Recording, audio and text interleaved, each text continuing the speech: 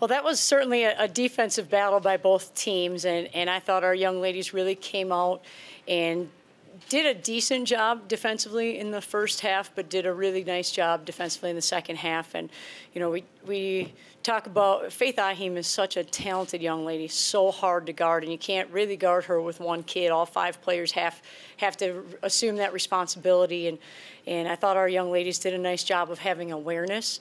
Uh, but she's she creates so much for them. Uh, I thought our the two young ladies who are here Allison Arens was probably the best game that she's played defensively in her career, that at least that, that we've seen. And then Kate Liverhouse came in the game and really gave us a boost and uh, really did some nice things and secured some rebounds and made some plays for us on both ends of the court. So certainly excited for an opportunity to play tomorrow in the championship game. And now it's important that we get some rest and we get recovered and we get ready to go again. Let's take questions for the student athletes. Show of hands. We do have a microphone we need to get over to you, and if you could give name and affiliation the first time around, that would be helpful, please.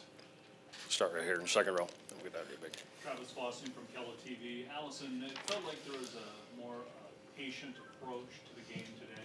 You still hit eight three-pointers, but seemed to settle in, especially in the second half on offense, and just kind of take your time and, and approach it that way. Mm-hmm. Uh, I'd say going into the game, that was kind of our focus, just taking care of the ball, um, letting our plays run through, and uh, letting them take, like letting our movements take care of themselves. We're gonna take one in the front row here. Uh, Kate, there was a lot of bodies on the floor in that game. Is that kind of the, the game you anticipated? Um, yeah, definitely. Anytime tournament time comes around, you have a much increased level of physicality, and I think that's been very true for our tournament, especially the Summit League, um, which is a pretty physical league in itself. But I think tournament time, um, a lot of times you get to just play more. The refs kind of let you play, and you just kind of got to battle through those things. Um, so yeah, I think it was very much anticipated. I know you haven't had much time to digest this, but you're in the championship game now. That has to feel pretty good. Yeah, it feels awesome. Um, personally, I've this will be my third time there, and I'm just really excited as a senior. It's kind of a crazy feeling. You're you're there, and it just means a lot. So I'm very excited. We're going to take one all the way in the back here.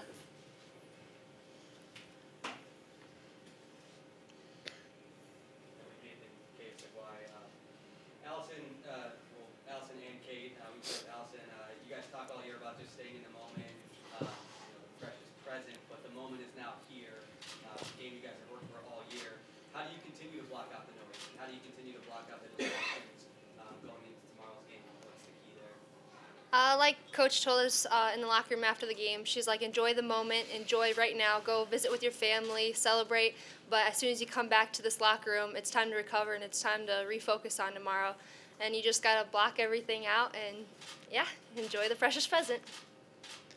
Um, yeah, I definitely agree. Our team does a really good job of balancing when to celebrate and then knowing when to buckle down and get serious.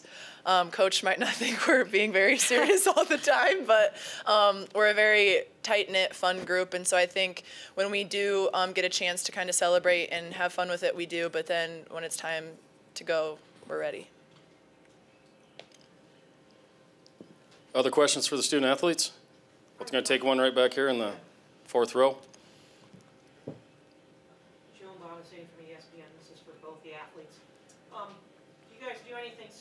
Tonight as a team?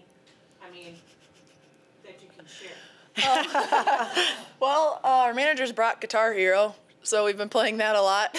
but so that's just for, for you guys just to go have fun. Yeah, um, I mean, there's not. We all have our own routines, and we kind of stick to those. But otherwise, like I said, we're all just really close. We just kind of hang out, um, get rested up, kind of get our minds off of things, and just get ready to go the next day. Okay, I'm gonna do a follow up. So obviously you're where you want to be. Mm-hmm. Okay, you're in the championship game. Very familiar with South Dakota State. Yep. Obviously, your rival. Mm-hmm. What do you have to do besides put the ball in the basket more than them? What do you have to do? Um, well, depending on the next game, um, either team, we just got to really um, focus on our game plan defensively, whatever that may be. Both of those teams that are playing right now are great, um, and they have very different schemes of offense, and so we're just really going to have to um, buckle down and listen to our coaches and see what they have prepared for us and go from there. Anything else for the student athletes? We can take one, one more question, one, two more questions.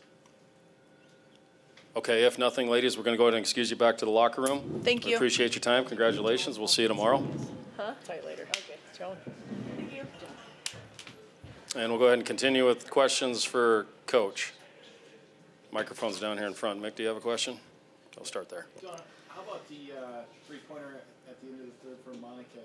Um, It seemed like that was something that really gave you a a boost at a time when you kind of needed it. Well, we really did need a boost at that point in time, and certainly as well into the fourth quarter. We uh, both teams are really good defensive teams, and there are times when our offense really struggles to get good shots, or when we get good shots, finish at the rim because it's you know you're playing against some athletes who are, are being physical around the rim, and it, it's tough to finish. So at that point in time, we actually were subbing so that we could get a little bit of a break for a couple of our kids. Put in some put in Monica to help us out, and they. We, I give Misty and her staff a great deal of credit because each time that we've played them, they've given us a completely different look in their man defense, and our players have made some of the adjustments, and so they were really helping off of, of Monica in that situation. She stepped up and hit a really big shot, and, and then came right back out of the game. Her reward was sit back down and cheer for your teammates. And what makes this group a, a unique group and a special group is that there were matchups today which, which maybe favor some of our players more than others. And we saw Chloe Lamb played a lot more than maybe she has in some other games. And and this group of young ladies, whether they're on the bench, whether they're on the court, they're cheering for their teammates. They understand, they trust, and and really give give us some great effort to put us in a position to be successful. Another question here in the front row. Jeremy from ATPD. Uh, I know you talked about this this season before, but was defense something you identified after last year that needed some improvement, some attention? Yeah, our defense last year wasn't very good. And, and this year it's much, much improved. And you could see it in the fourth quarter of this game in trying to find ways to limit opportunities for Oral Roberts. The hard part for us was getting some defensive rebounds. They're a very athletic team. We're not very big.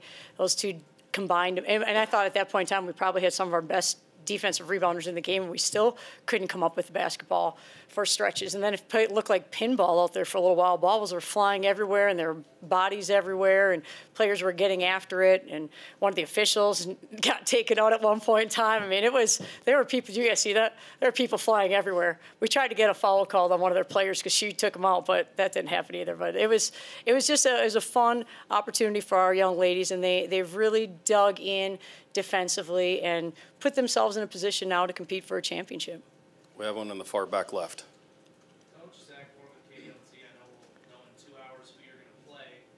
Uh, if it's South Dakota State, how do you beat them third time?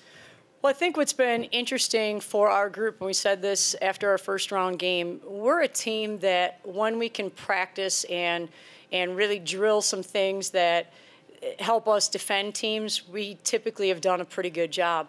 Now we go into this next game without that opportunity to do that. We'll know who we play by the time we, you know, shoot around tomorrow morning, but we probably won't spend much time really doing many breakdown defensive drills, although rest assured I'm sure we'll have one or two in there. But this group now has to carry things over and, and put ourselves in a position uh, the best position that we can defensively. You know, offensively, whichever team that we play, whether it's Western Illinois, Western Illinois gives a lot of teams fits with their their zone, and South Dakota State really is tough to score on. So, you know, we got to look at both ends ends of the ball and look at opportunities for us to get stops without necessarily practicing the adjustments that we have to make. And I thought this group today did a good job with that. We told them at halftime we have to stick to some defensive principles. There are some situations where we know what we have to do, but we're still not doing a good job of that. And I thought our, our kids came out of the locker room at halftime and made some of those adjustments. Now you got to trust those things and you got to get them done. Fourth row. Uh, Joan Bonvicini again from ESPN. Coach, first of all, congratulations on the win. Um, Thank you, Joan. This is kind of big time. Yeah, it is big time. I've known Joan for a, for a long time. Uh, admired your career, so this is kind of cool. Thank you. Um, you're a national championship coach, okay? And you, so to do that is big time to win a D two title, right? Yes, thank you. How are you gonna, how are you gonna lean on that to help you win tomorrow? Well, I think what's really important for us is that we we talk about uh, living the precious present, that's really important. But we also talk about the toughness that it takes, the togetherness that it takes. And, and Kate talked about the fact that our kids are, if you come in our locker room before a game, you wouldn't know that we were playing a basketball game. You think that we were going to go, I don't know, hang out together and, and just relax and have fun because they're, they're having a good time, they're dancing. So that togetherness piece is really important. The toughness piece is really important. And then the thing that we talk a lot about is find a way, you know, whatever it takes. And sometimes you go into tournament games and you expect it to be a grind out defensive battle, and all of a sudden it ends up being an offensive shootout. Sometimes you expect the shootout, and then it ends up being a defensive battle. You know, and, and from our kids, that find a way mentality. Certain players might be better matched up in certain situations, and they've trusted that. So those three things are really important for us going into tomorrow's game. Do we have any other questions for Coach? We can take, let's take one more right here.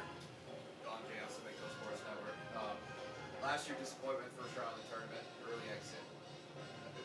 So much success this year. Was there a moment, though, that you can pinpoint where you believed, really believed, that this, at least getting this far, was really possible? Well, I can say this. It wasn't as if our non conference schedule was very easy and, and we struggled at times, but I, I remember. I remember this specific situation when we had lost to Tulsa at home, and it was a tough loss for us. We came back and we practiced, and we had just lost at Stephen F. Austin. They're really tough on the road as well. And then we have our next opportunity to play at home, and I think we're playing at that point in time Riverside. And J.C. Bradley is on the bench at the end of the game or towards the end of the game, and she looks at her teammates and she says, We find a way.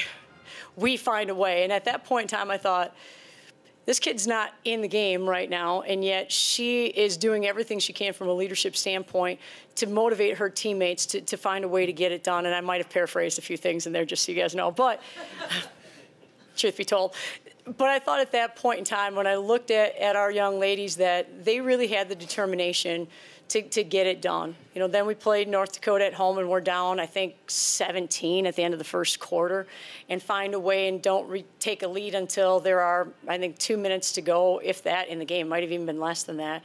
So those two were right around the same time. And I, at that point in time, realized this group of kids really, really cares. They're really locked in and, and have a lot of fun doing it.